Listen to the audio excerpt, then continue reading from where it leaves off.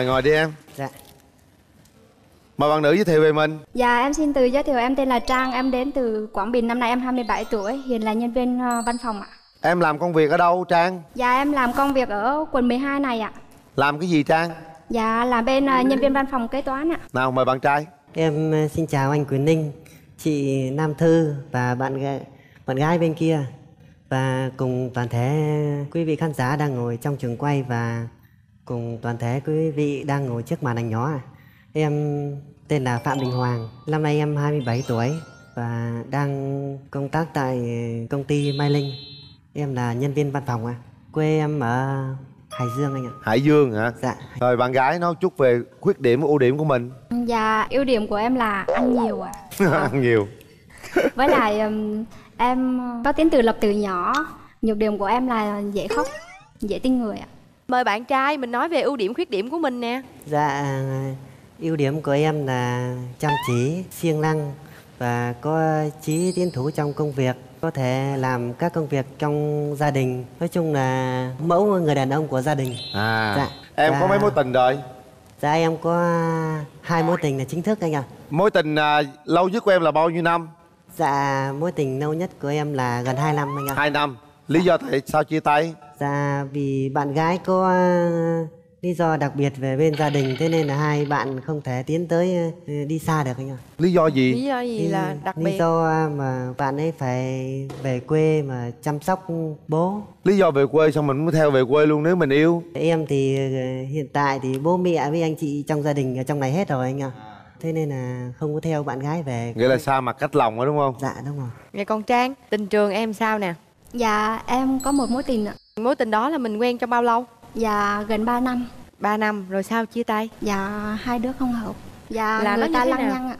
À, yêu bao lâu thì em mới phát hiện ra đối tượng kia lăng nhăng? Dạ yêu nửa năm là phát hiện ra Xong rồi em tha thứ rồi người ta lại tiếp tục lăng nhăng ạ. Xong rồi em quyết định thôi dứt Khuyết điểm của em dễ tin người là hoàn toàn chính xác. Dạ Không nhưng mà thật sự phụ nữ mà khi mà yêu thì cái cái cái sự mà tha thứ nó khủng khiếp lắm, bỏ qua được tất cả. Vậy thì cái mẫu đàn ông ờ, hiện tại bây giờ em mong muốn là gì? Dạ cái mẫu đàn ông hiện tại của em mong muốn là thủy chung, trung thực Em có mẫu hình lý tưởng nào hả em gái? Dạ không, em không có mẫu hình lý tưởng nào hết ạ Rồi còn bạn trai Bạn muốn một mẫu hình lý tưởng của mình như thế nào? dạ mẫu hình lý tưởng bạn gái của em là một người con gái dễ thương và Gái nào cũng dễ thương và biết quan tâm đến mọi người xung quanh Ừ có một công việc ổn định Ba cái đó cô gái kia có hết Tôi chưa coi mắt mà tôi biết có hết rồi đó Còn gì khó hơn nữa không? và khó hơn thì là nếu mà được thì là mẫu người phụ nữ của gia đình Gia đình Mẫu người con gái nào cũng hướng tới gia đình hết mà. Ừ. Mình không thể nào nói chung chung Đây, được. chị ạ À, chào cưng. Dạ. Không có nói chung chung được. Mình phải thực sự biết cái mẫu người mình muốn là gì. Dạ. Ai cũng có một cái mẫu chuẩn riêng hết. dạ về Ừ. ngoại hình thì dễ nhìn là được rồi chị ạ Ừ. dạ Rồi à, làm à, văn phòng hả? dạ vâng ạ Trong văn phòng chắc cũng nhiều bạn đồng nghiệp xin xin gái chứ ha. Dạ hiện tại văn phòng của em đang làm thì là đa số là có gia đình hết rồi chị ạ. À, Dạ Nói chung mẫu của đàn ông ở đây là quan điểm là Về gia đình thôi là được rồi dạ Bên đây là hiền từ lắm Không có ờ, yêu cầu gì Em- cao đâu em chung thủy không? dạ Trung Thủy chị ạ. Thấy Dám hiền tự khẳng định câu đó với bản thân mình là chung thủy đúng không? Dạ vâng đúng rồi. À. Đàn trai lúc nào cũng trung thủy trơn. Trời ơi làm như vậy mà cái tỷ lệ ngoại tình rất vào đàn ông là rất nhiều đó chứ. Phải không? Thì cái cô Chính này xác. đúng không em? Đó, bên này đã gặp một người đã từng ngoại tình nên bây giờ cái gì cái gì cái đầu tiên cái tiêu chuẩn đầu tiên là phải chung thủy. Bao trung thủy Tôi thấy đàn trai đây hiền rồi đó Bao chung thủy. Để qua coi đàn gái thế nào nha em trai Dạ. Ồ thấy rồi Em dễ thương anh. quá Em trai bên đây cũng hiền từ lắm Mặt cũng rất là sáng ha Vấn đề chỗ là gì? Em lo không trung thủy hả? Dạ đúng rồi Bây giờ thí dụ như ờ, một người đàn ông trung thủy Theo em nhìn họ là người thế nào? Cảm nhận của em là người trung thủy là họ biết quan tâm Lúc nào cũng lo lắng cho mình Lúc nào mình cần thì người ta cũng sẵn sàng với bên, bên cạnh mình ạ Cũng chưa chắc Có những người rất quan tâm Rất lo lắng Nhưng đôi khi không trung thủy nữa Không, vậy thì phải thêm một chi tiết nữa em là người đó luôn rõ ràng về à, Các mối quan hệ. và các mối quan hệ. À Em không thích cái tính gì của đàn ông? Em không thích con trai hút thuốc Thuốc thuốc có không? Dạ không anh. Không có Không thích con trai um, ở dơ Có hơi dơ không? Sạch sẽ không? Sạch sẽ chứ. Dọn dẹp trong nhà sạch sẽ không? Ok hết anh. Đó ạ. thấy chưa trời ơi Thằng trai ngon thôi anh thấy cô gái dễ thương đó em trai hôm nay trang tới với chương trình em đi với ai dạ em đi với bạn thân của em ạ. dạ em chào Rồi. chị ạ Um, dạ em chào anh Quyền Linh chị Nam Thư và tất cả mọi người ở trường quay à. ừ em tên gì mình giới dạ, thiệu em nè. tên Nhi à. em cảm nhận như thế nào về bạn trai bên kia Dạ bạn trai bên đây thì um, em thấy uh, hiền, à, nói chuyện nhẹ nhàng, đẹp trai không đẹp dạ, trai đẹp không trai. à. có thấy Dạ. hợp với uh, trang không Dạ em thấy cũng hợp với bạn Trang. à. Bạn Trang thì um, tốt bụng dễ gần. à. theo em thì hai bạn nên bấm nút hẹn hò chứ hả Dạ hai bạn nên cho nhau một cơ hội. Em thấy là hai bạn có nhiều điểm hợp nhau. ừ. rồi cảm ơn em cảm ơn em em trai đi với ai dạ em đi với anh trai và chị gái ạ à, anh trai chị gái mời đại diện đàn trai đi Xin chào à, MC Quyền Linh, MC Dạ. Nam Thư cùng Dạ. à, toàn thể quý vị khán giả. Tôi là Hào, anh của Hoàng. Trước hết thì tôi cũng à, xin nói với bạn gái về tính cách của Hoàng á thì Hoàng có những cái ưu điểm cái thứ nhất là sống à, rất là nhiệt tình, chăm chỉ. Bên cạnh đấy là nếu mà nói về cái vấn đề trung thủy á thì bạn gái hoàn toàn yên tâm. Đấy là tôi khẳng định cho cái điều đó. Hoàng ạ, em gái bên này thì cũng à, nhỏ nhắn, dễ thương. Thì nếu mà qua cái chương trình này mà hai em ờ, có bấm nút để hẹn hò thì đây là một cái cơ hội cho em đấy. Anh ờ, nhất. Rồi cảm ơn anh trai. Dạ cảm ơn anh. Thấy em gái tin chưa? Khẳng định của anh trai luôn. Trung thủy nha. Mà em thấy hai bạn này hợp hợp từ cái tên là nó hợp rồi. Đứa trang đứa hoàng về trang hoàng. Được á mở rào cho trang hoàng gặp nhau nè.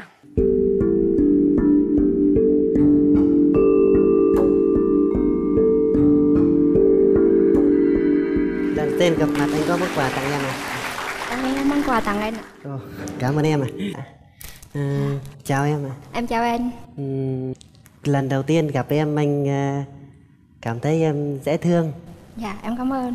Xinh xắn à, trước khi hàng rào mà chưa mở ấy, thì anh có cảm nghĩ là cái giọng của em rất là dễ nghe và dễ gây thiện cảm. Khi mà mở ra thì à, anh lại thấy à, cả thanh và cả sắc không viện toàn ạ. Dạ cảm ơn anh nhiều ạ. em có hay đi chơi không ạ? Dạ có khi mình quen nhau thì à, không biết em sắp xếp được những buổi nào trong tuần dạ nếu mà được thì em cũng có thể sắp xếp em tại em đang học tiếng nhật á em gái thấy chàng trai thế nào dạ em thấy um, bạn trai cũng dễ gần hòa đồng cũng ngoại hình cũng được ạ Cảm ơn em. Em thì hát không có hay nhưng mà đến với chương trình thì em cũng tặng bạn gái cùng chương trình một đoạn bài hát do nhạc sĩ Lam Phương sáng tác. Ừ. Bài hát mang tên ờ, Thao thức về em à. Trời ơi. Em ơi suốt đêm thao thức vì em Vì lời giá từ lúc anh ra về. Rằng mai đây anh lại đến Ước nguyện tròn một đời. Là mình luôn luôn có đôi Ơi nhớ thương, thương nhớ cả đêm. Làm sao quên được phút giây êm đềm? Chờ mong sao cho trời sáng? Đúng giờ mình hẹn hò là được mãi mãi gần em. Hay quá dễ thương.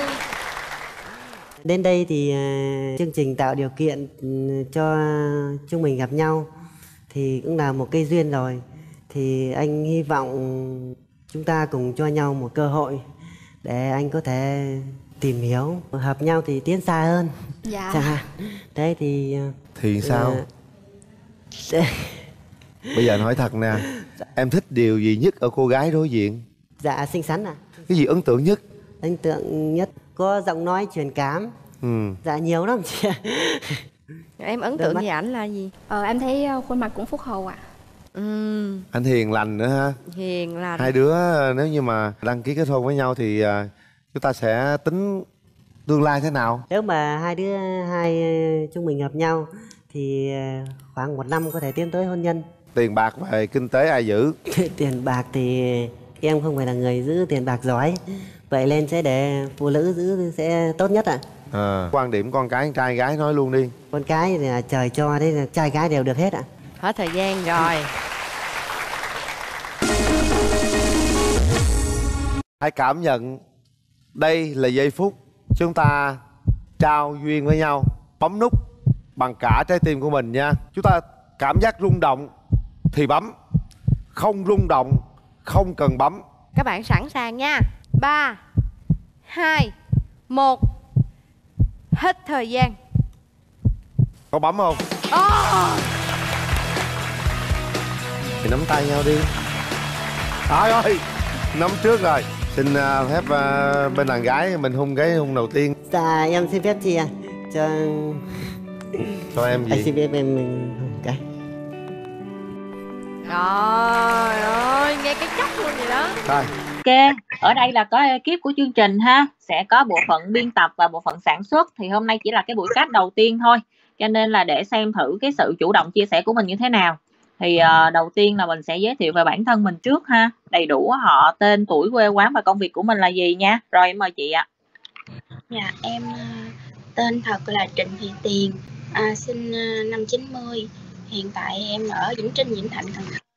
À, em nghề nghiệp của em à, có một cái spa nho nhỏ Ừ, là mình mở spa ở đâu chị? ở tại quê của mình luôn, Quê mình là nãy nói ở đâu chị? Vĩnh Trinh, Vĩnh Thạnh, Cần Thơ. À, mở spa, là mình mở cái spa này lâu chưa?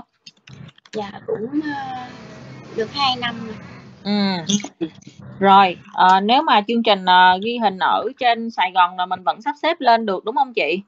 Dạ, nếu như cho em hay trước để em sắp xếp. Dạ rồi, ok. à, bây giờ là mình sẽ nói về bản thân mình một xíu ha, về tính cách nè, điểm mạnh, điểm yếu, sở thích của mình là gì nha. Về tính cách của em thì ờ, em cũng hòa đồng, à, còn điểm mạnh của em thì có lẽ là em mạnh mẽ, nhưng mà cái tính em thì thầm kín, nói. Điểm yếu của em thì um, em ít chia sẻ với mọi người, có chuyện gì thì em chỉ một mình nhốt mình trong phòng vậy, rồi suy nghĩ. Là hồi giờ mình nhốt mình trong phòng lâu nhất là bao lâu rồi?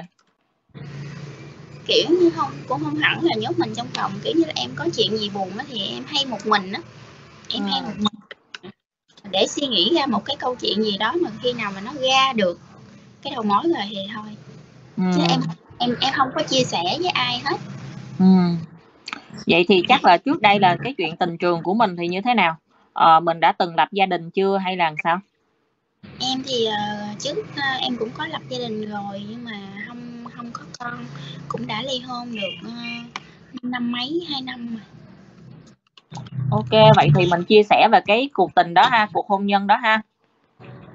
Dạ thì ờ, ờ, vợ chồng trước á, thì hai đứa không có quen à, ba mẹ ba mẹ định á, kiểu giống như ngày xưa vậy đó ba mẹ đặt đâu thì con ngồi đó vậy đó thì xong rồi về sống thời gian thì cảm thấy không hợp thì ờ, chia tay thôi hả chị Là coi như hồi đó là quen là mai mối đúng không? Về ở với nhau được bao lâu?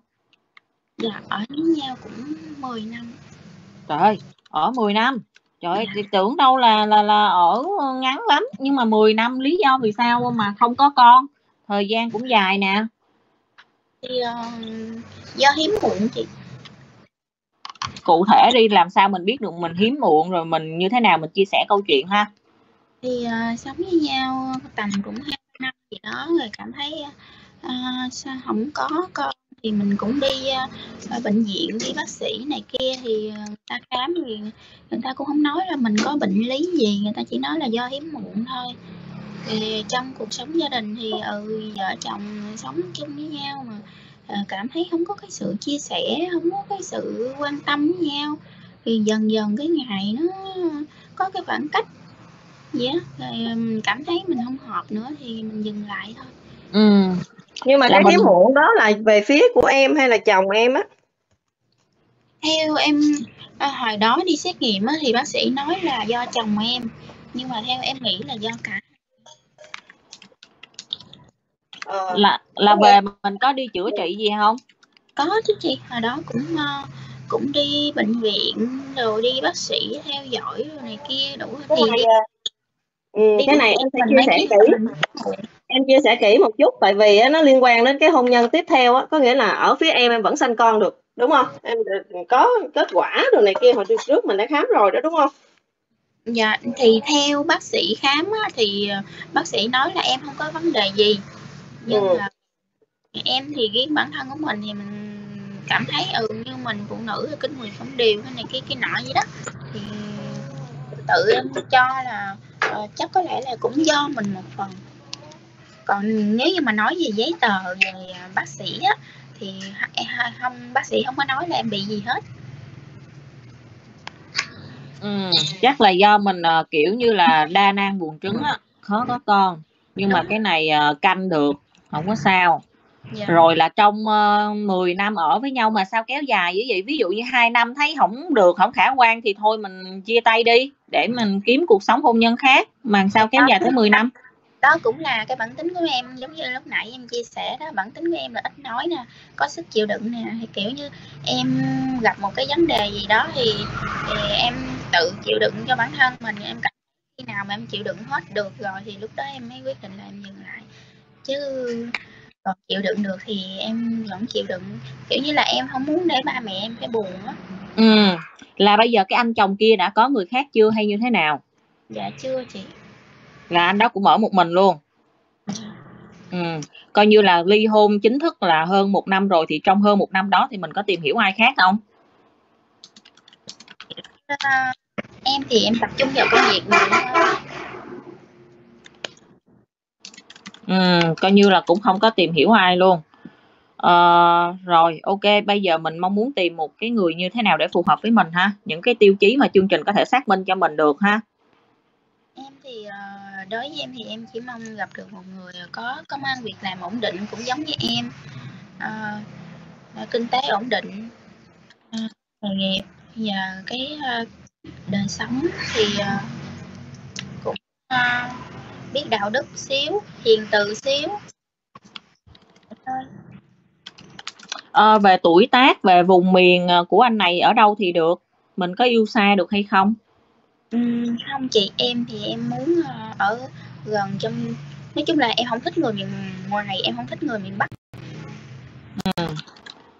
Chỉ trừ miền Bắc thôi đúng không? Ví dụ người này đang làm việc và sinh sống ở Sài Gòn thì vẫn được đúng không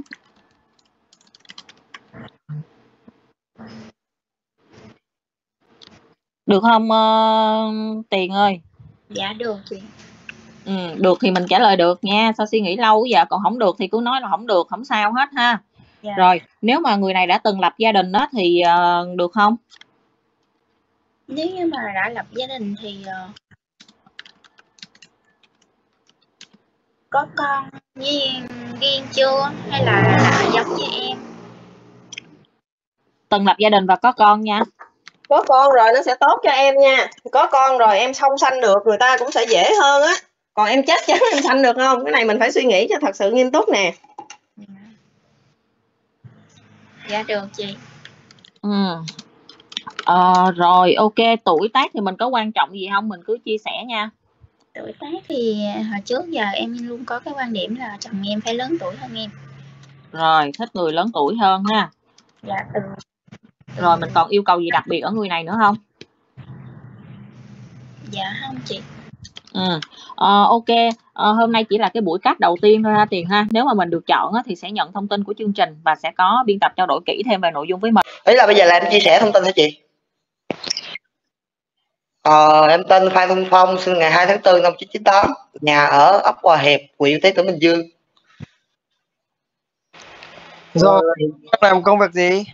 Dạ hiện tại em đang làm à, thợ sửa xe Ờ, sửa, sửa xe um, xe Honda hả em? dạ dạ đúng rồi Rồi. Em là nhà mình ở Bình Dương ở cùng với ba mẹ luôn hay hay sao? dạ đúng rồi nhà em ở Bình Dương với ba mẹ Ờ, Ở Bình Dương với ba mẹ rồi. Em ờ, Phong có điểm mạnh điểm yếu gì?